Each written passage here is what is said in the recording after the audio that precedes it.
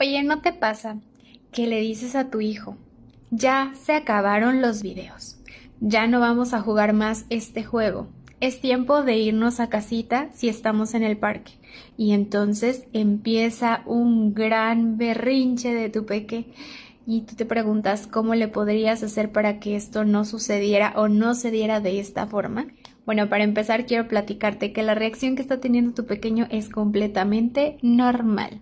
Y es que en las primeras etapas, cuando son muy pequeños, los niños no tienen desarrollado el concepto de temporalidad y en ocasiones como adultos no somos tan claros con respecto a cuánto tiempo, cuántas oportunidades tengo más de jugar.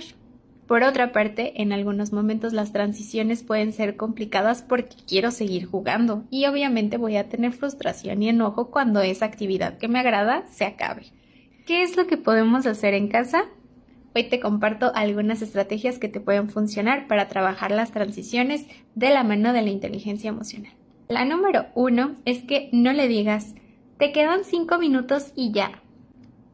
Utiliza tu celular marcando el tiempo o utiliza un cronómetro. Algo que también puedes hacer es utilizar un lenguaje más concreto, diciéndole cuántas veces va a poder realizar ciertas acciones antes de tener que irse. El número dos es que tengas marcada la rutina de las actividades, es decir, primero vamos a ver un video, pero cuando el video termine tendremos que ir a dormir.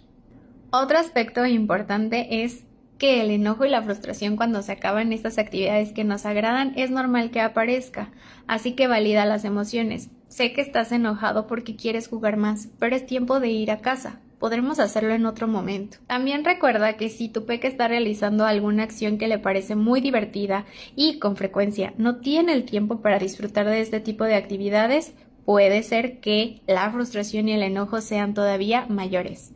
Para que nosotros podamos trabajar con los berrinches o rabietas de nuestros pequeños, las necesidades deben de estar bien cubiertas y a veces el pasar tiempo de calidad, divertirnos y jugar también es una necesidad que debe de trabajarse todos los días.